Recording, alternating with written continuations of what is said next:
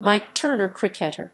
Francis Michael Turner MBE 8 August 1934 21 July 2015 was an English cricketer active from 1954 to 1959 who played for Leicestershire.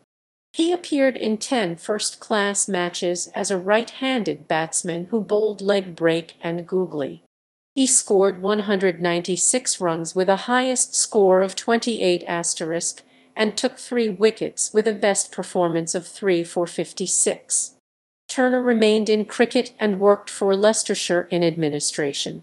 The club awarded him a benefit season in 1985. In 1994 he was awarded the MBE for services to cricket. Equals equals references